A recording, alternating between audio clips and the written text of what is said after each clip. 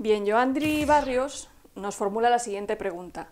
Si el bosón de Higgs explica la masa de las partículas, ¿cómo sería su interacción con objetos cotidianos de diferente tamaño y masas, como un lápiz o un sillón? Bueno, como él dice, eh, el bosón de Higgs explica la masa de las partículas fundamentales, los componentes más pequeños de la materia. Así que para entender cómo el bosón de Higgs interactúa con objetos cotidianos como un sillón o como un lápiz, lo que nos tenemos que preguntar es cuáles son las partículas fundamentales que componen el lápiz o el sillón.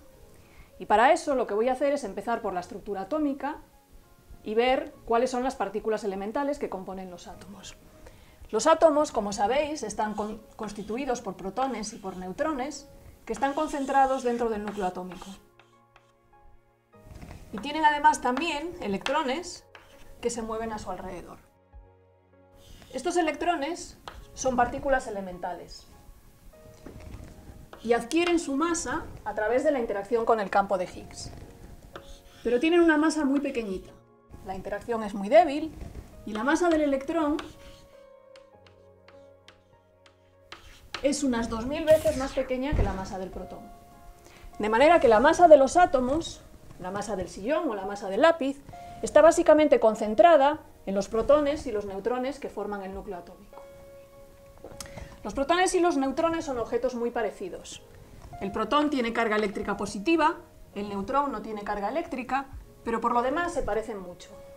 La masa del neutrón es un poquito más pesada que la masa del protón, pero muy poquito. Difieren en una parte en mil. Y para que os hagáis una idea de las cantidades de las que estamos hablando, en un kilogramo de masa tenemos 10 elevado a 27 masas de protón. Los protones y los neutrones, a diferencia de los electrones, no son partículas elementales, tienen estructura, están compuestos. Y están compuestos por unas partículas elementales que se conocen como quarks y gluones.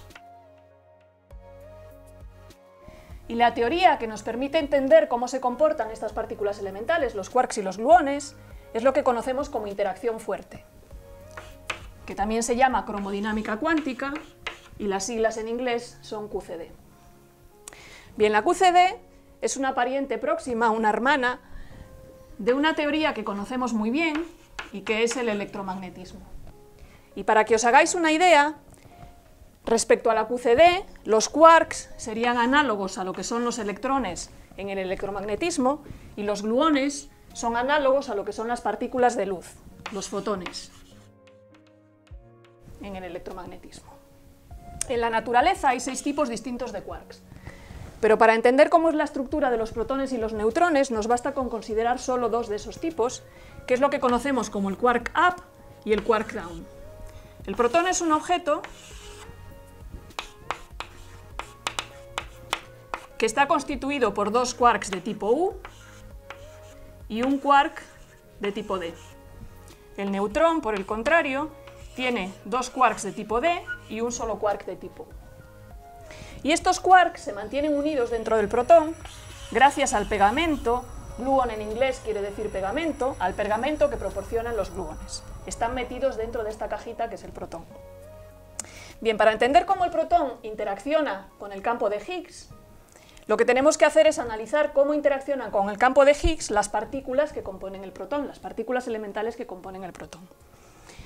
El gluón no tiene interacción directa con el campo de Higgs.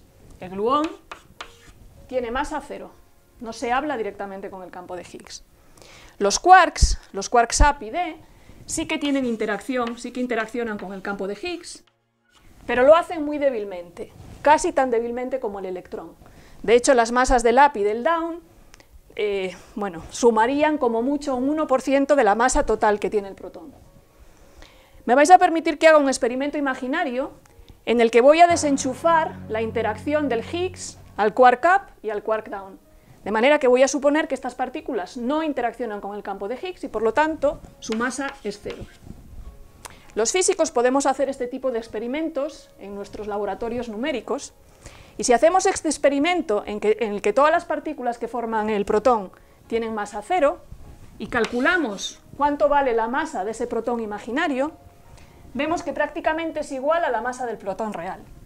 Un 90%, más de un 90% de la masa del protón real vive en este mundo en el que las partículas no interaccionan con el campo de Higgs y no tienen masa.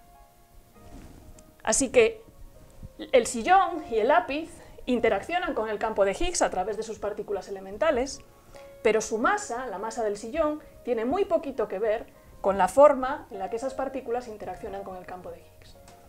¿A qué se debe la masa, entonces, de esas partículas?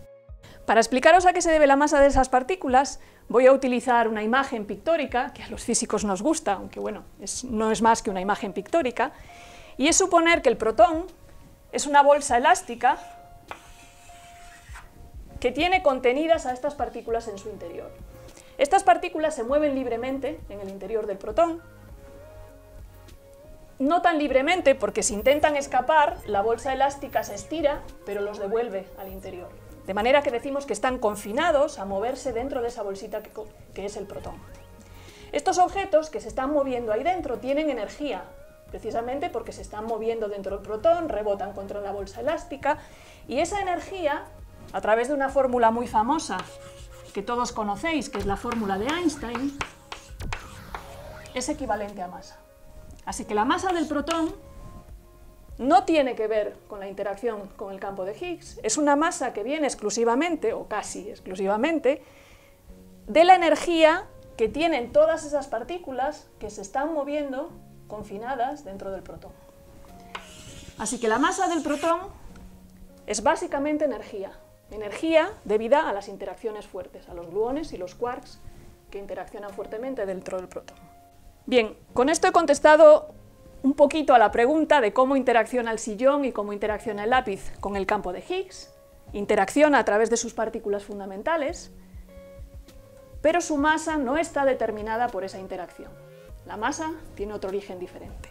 Lo que voy a hacer ahora para terminar es explicaros un poco cómo esa interacción, a pesar de todo, es muy relevante para que el sillón sea como es, para que el lápiz sea como es y el universo sea como es.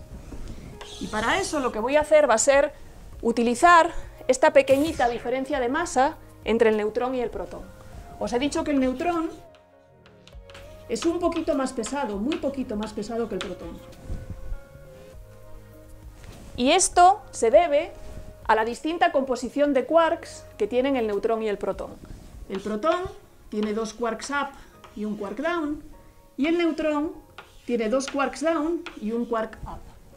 Y sabemos que la interacción con el campo de Higgs es de tal forma que la masa del quark down es un poquito más grande que la masa del quark up. Y eso tiene como consecuencia que el neutrón sea un poquito más pesado que el protón. ¿Qué ocurre en este mundo imaginario que yo me he inventado, en el que la masa del up es igual a la masa del down y es cero? En ese mundo imaginario que yo me he inventado, el protón es un poquito más pesado que el neutrón.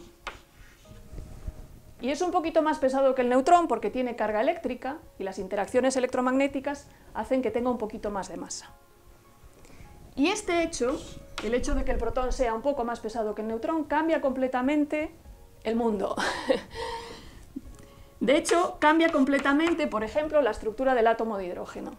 Sabéis que el átomo de hidrógeno está formado por un único protón en el centro, en el núcleo, y un único electrón bailando a su alrededor.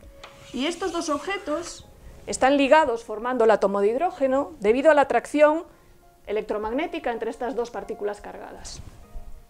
Ahora bien, si el protón es más pesado que el neutrón, el protón es inestable. A la naturaleza le gusta buscar mínimos de energía, entonces el protón decae en un neutrón y el neutrón es neutro, como su nombre indica, no tiene carga eléctrica y por tanto no es capaz de mantener al electrón atrapado dentro del átomo de hidrógeno. El electrón vuela fuera del átomo y los átomos de hidrógeno no existen.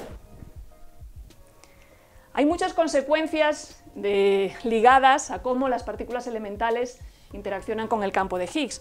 Otra muy particular es, por ejemplo, lo que ocurre con el electrón. Os he dicho que el electrón captura su masa por su interacción con el campo de Higgs. Si desenchufamos la interacción del electrón al campo de Higgs y hacemos que el electrón no tenga masa, este electrón es una partícula que se mueve a la velocidad de la luz. Los núcleos atómicos no son capaces de atraparlo dentro de los átomos y la consecuencia de eso es que los átomos no existen en la naturaleza, tal y como los conocemos. Así que, para concluir, respecto a la pregunta que, que Joandri me ha hecho, los sillones, los lápices y la materia ordinaria interacciona con el campo de Higgs a través de sus partículas elementales. Esa interacción no es responsable de la masa que tenga el sillón, pero sí es responsable de que el sillón sea como es y que el universo en general sea tal y como lo vemos. Si no estuviese el campo de Higgs, el mundo sería muy distinto a como lo observamos.